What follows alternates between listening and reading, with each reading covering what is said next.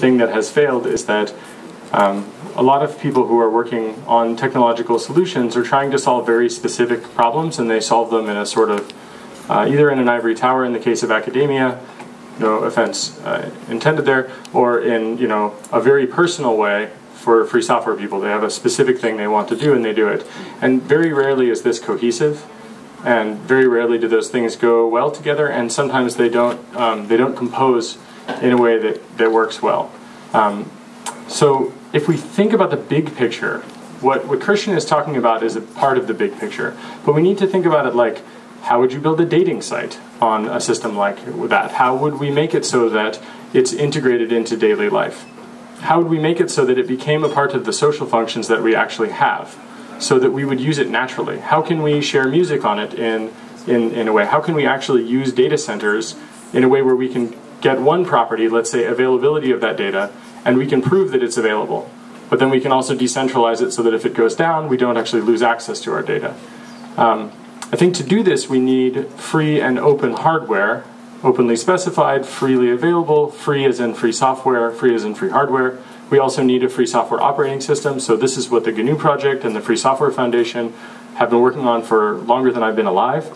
Um, these things are absolutely critical to do that. And one of the, the sort of key things to tie together all of this is, for example, cryptography. But another thing is about verifiability. So when you build software right now, if you compile, let's say, the Tor browser today, we have a new version of the Tor browser which we're soon going to release, and it is a beta that you can test. If you compile it on your computer, or Richard compiles it on his computer, the actual resulting binary is identical. And this is because we want to make sure that if someone downloads a binary of the Tor browser from us, that they will actually have the same one that they would build from source. And then many people around the world can sign the hash um, of the actual thing that we think we are releasing. And then there's no reason to just trust us. You can build it from source and make sure it's identical. And then you don't have to have, um, for example, the uh, ability to do uh, disassembly or decompile uh, any parts of the object code, and then if you have all the source code, you can see what actually is the result. So that kind of verifiability, we need that also for hardware. We need a way to openly look, to openly specify and freely specify a board, sort of like the stuff that Sebastian has been doing, and then to be able to take a random board, x-ray the board, and make sure that it matches and we need software to do that so that we can actually look at the board and see that it does what we think it does. And then we need to be able to take the source code and do the equivalent of that so that we can actually verify it. And that will be very hard to accomplish for entire operating systems. Um, but when we have these kinds of systems, it really, I think, gives us some great opportunities. And I think it's, I mean, it allows us to say, hey, is there a backdoor in this CPU? Well, we can inspect the source code for the entire CPU because it's written in VHDL or something like this, and then it's loaded into an FPGA, and we know this FPGA has certain features, and we can identify them with an X-ray to see that in fact those features are there.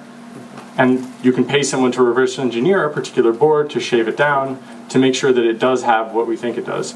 So if we if we apply that all through and through, it means that these things become more accessible, or at least they become verifiable. And at least we have some way to sort of trace through the entire picture. And then with cryptography, we can link up with other systems like this, and we can have applications on top that people actually care about. And so then it's not a, a house of cards, let's say. Because at, at, the moment, we have a lot of free software, and it sits on top of um, non free hardware. And if I was a betting man, um, and I am often, um, you know, I would say that that's a problem I wouldn't exactly say why, but I guess there's plenty of stuff that shows that it is a problem. But I would say that it's a problem. I think that Sebastian has convinced me of this. That's pretty much my main reason for believing that, in case there was any question about that. But looking at, at, at for example, Intel CPUs with the microcode updates, those appear to be signed with a 2048 bit RSA key.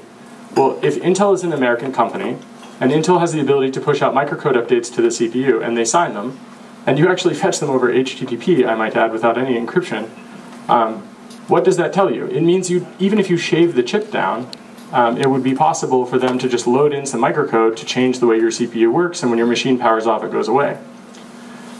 So we need to we need to be able to understand the edges of those things, and in, right now, I think we actually just can't do that very well at all, and that's a really big problem. And I mean, there's literally one person in the world, maybe two people in the world that are really working on this in open uh, in, in the open. One of them is bunnie, who created the Chumby and is working on an open laptop.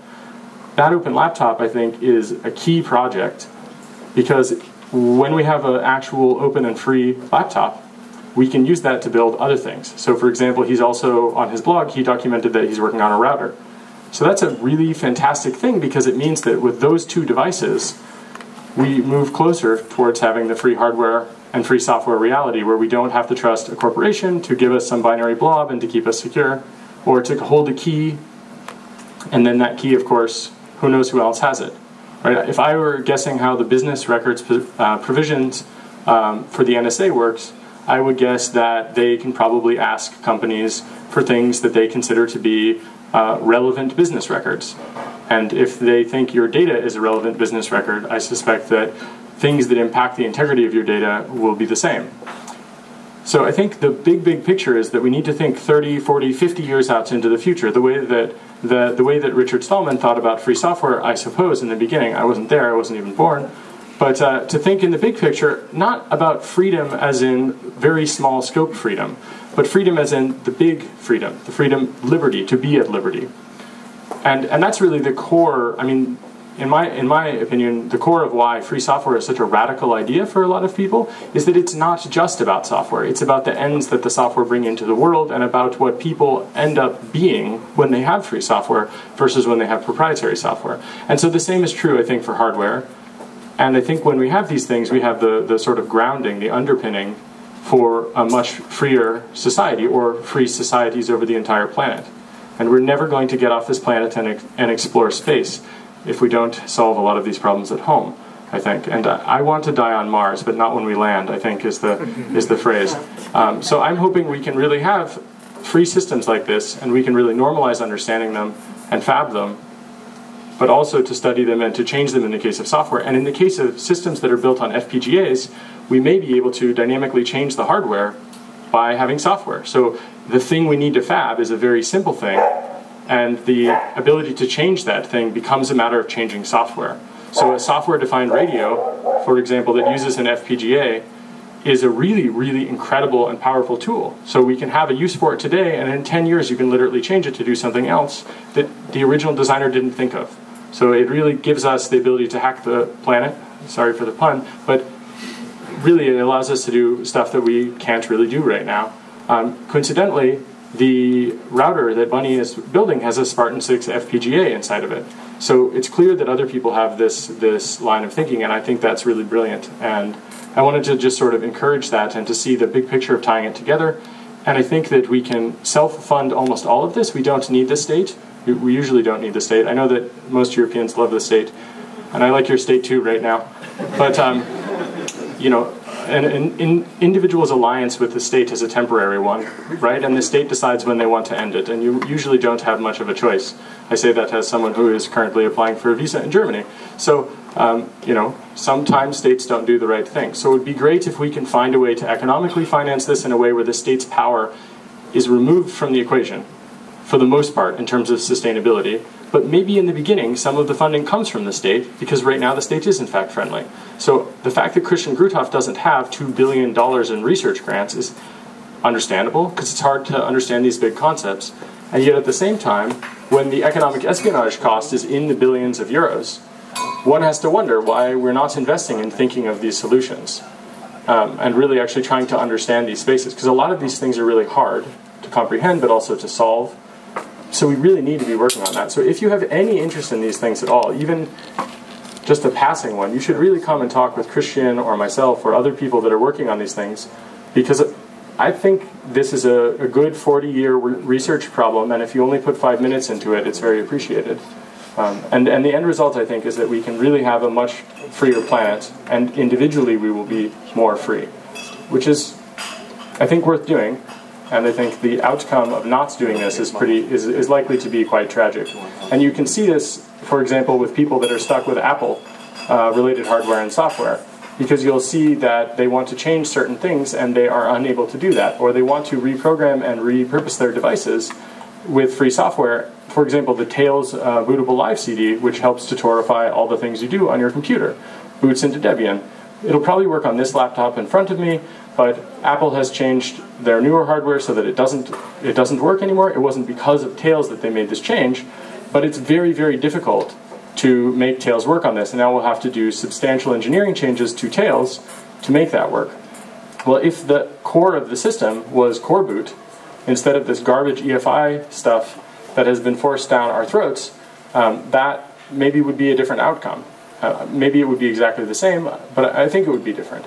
And, and so we really need to look at, at, at, replacing these kinds of things and also think about it as being not actually so sexy. I mean, they have great design, but it is the aesthetic of slavery in a sense, where you are not free. You are only free to do what Apple says.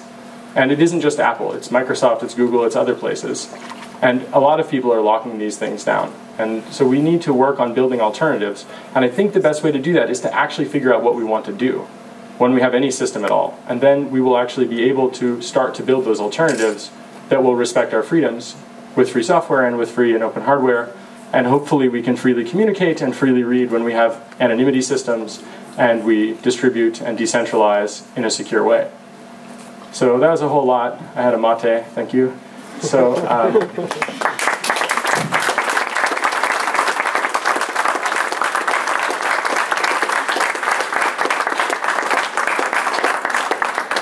I just wanted to say if you have any questions, I'm happy to take them. I also want to make a comment about XKeyscore if any of you are interested in that.